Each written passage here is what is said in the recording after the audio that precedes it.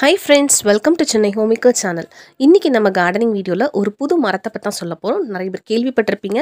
அது எப்படி வளர்க்கலாம் அப்படிங்கிறது தான் இந்த வீடியோவில் இருக்குது அதுக்கு முன்னாடி என் சேனலை சப்ஸ்கிரைப் பண்ணாதவங்க சப்ஸ்கிரைப் பண்ணிக்கோங்க. கூடவே பெல்லக்கோனே கிளிக் பண்ணிக்கோங்க. அதில் ஆளுங்கிறத ப்ரெஸ் பண்ணால் மட்டும்தான் என்னோட நெக்ஸ்ட் வீடியோக்கான நோட்டிஃபிகேஷன் உங்களுக்கு வந்து சேரும். ஃபோட்டோஸ் பார்த்தோன்னே நீங்கள் கண்டுபிடிச்சிருப்பீங்க. ஸ்டார் ஃப்ரூட் பற்றி தான் சொல்ல போகிறேன் அப்படிங்கிறது. இதுக்கு இன்னொரு பேர் வந்து கேரம்போலா அப்படின்னு சொல்லுவாங்க. எங்கள் ஊரில் வந்து இதை நிறைய பேர் புளிச்சிக்காவும் இந்த ஃப்ரூட்டையும் சொல்லுவாங்க. ஆக்சுவலாக புளிச்சிக்கா வந்து நீளமாக இன்னொரு விதமாக இருக்கும். அதை எண்டில் உங்களுக்கு காமிக்கிறேன். ஸோ நான் கூட ஃபர்ஸ்ட் வந்து ஸ்டா புளிச்சிக்கா ஸ்டார் ஃப்ரூட்னு சொல்லிட்டு தான் அதையும் நான் போட்டிருந்த வீடியோவில் பட் நான் அதை கரெக்ட் பண்ணிக்கிறேன்.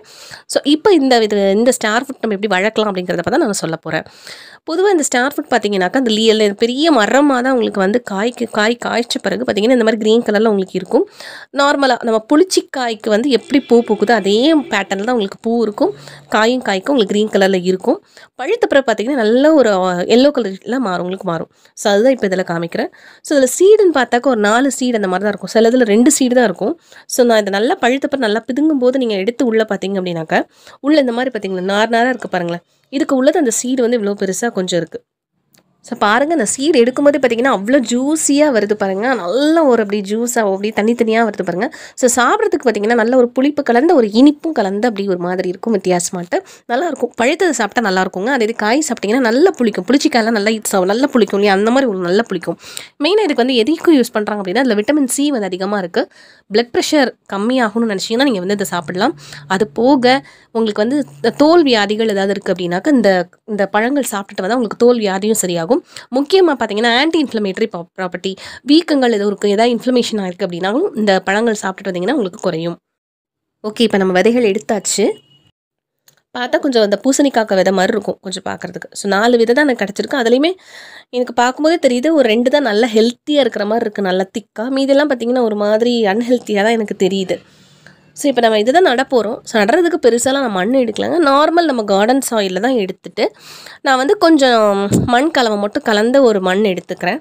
ஸோ அதில் தான் நான் அதை வந்து டிப் பண்ணி வைக்க போகிறேன் ஸோ பாருங்கள் நார்மலாக உள்ள மண் இதுதான் இருக்குது உரம் கலந்த மண்ணுன்னு சொல்லலாம். அதுக்கு கூட லைட்டாக மணல் தூவி வச்சுருக்கிறேன். ஆல்ரெடி பாட்டில் வச்சுருக்குது. ஸோ இதில் வந்து நான் ரொம்ப ஆழமாக நான் நடலை. ஏன்னா வந்து சீடு பார்த்தீங்கன்னா ரொம்ப மெலு தடிமனாக உள்ள அந்த இப்போ லெமனுக்கெல்லாம் இருக்கும் நல்ல தடிமனாக இருக்கும். அந்த மாதிரிலாம் லைட் ரொம்ப மெலுசாக தான் இருக்குது ஸோ அந்த அதனால எனக்கு நான் வந்து ஒரு அரை இன்ச் அந்த மாதிரி தான் லைட்டாக எனக்கு வந்து ஒரு டிப் பண்ணி நான் வந்து அந்த விதைகளை அதில் போட போகிறேன் ஸோ போட்டுட்டு நான் ஜஸ்ட் தண்ணி மட்டும் நான் தெளித்து விட்டுறேன். எனக்கு இது ஆக்சுவலாக பார்த்தீங்கன்னா ஒரு மூணு நாள் கழித்து எனக்கு வந்து லைட்டாக அந்த முளைக்க ஆரம்பிக்குதான் ஆரம்பிச்சுது. ஸோ அந்த வீடியோஸ்லாம் நான் எடுக்க மிஸ் பண்ணிட்டேன். ஸோ நான் வளர்ந்த ஸ்டேஜை மட்டுமே நான் உங்களுக்கு காமிக்கிறேன். ஸோ இது வந்து வளர்ந்த ஸ்டேஜ் கிட்டத்தட்ட எனக்கு ஒரு மாதம் ஆயிடுச்சு. ஸோ பாருங்கள் நாலு விதை போட்டு எனக்கு இதில் ரெண்டு தான் முளைச்சிருக்குது. ஒன்று நல்லாவே ஹெல்த்தியாக இருக்குது ஸோ இது முளைக்கிற அதே போடுற அதே டைமில் நான் புளிச்சக்காய் சீட்ஸும் நான் போட்டேன். அது இன்னொரு வீடியோக்கு நான் போடுறேன். ஸோ இது வந்து இந்த மாதிரி நல்லா இருக்குது பாருங்கள் ரொம்ப நிறைய இருக்குது அதாவது நிறைய சீட்ஸ் எனக்கு கிடச்சது. நான் அதை போட்டிருக்கேன். பார்த்தீங்கன்னா டிஃப்ரென்ஸே உங்களுக்கு தெரியாது. முளைக்கும் போது ஸ்டார்டிங் எந்த புளிச்சிக்காவுக்கும் சரி இந்த ஸ்டார் ஃப்ரூட்டுக்கும் பார்த்தீங்கன்னா வித்தியாசமே உங்களுக்கு தெரியாது. லீஃப் எல்லாமே சேமாக இருக்கும். ஓரளவுக்கு ஸ்டேஜ் வளர்ந்த பிறகு தான் உங்களுக்கு இது வந்து கேரம்போலா இது வந்து புளிச்சிக்கா அப்படிங்கிறது தெரியும். ஸோ நீங்களும் இதே போல் இந்த ஸ்டார் ஃப்ரூட்டை நல்லபடியாக வளர்த்து பாருங்கள் சூப்பராக உங்களுக்கு வருங்க. இந்த வீடியோ உங்களுக்கு யூஸ்ஃபுல்லாக இருக்குங்கிறத நம்புகிறேன் சென்னை ஹோமேக்கருக்கு லைக் பண்ணுங்கள் கமெண்ட் பண்ணுங்கள் ஷேர் பண்ணுங்கள் சப்ஸ்கிரைப் பண்ணுங்கள் தேங்க்யூ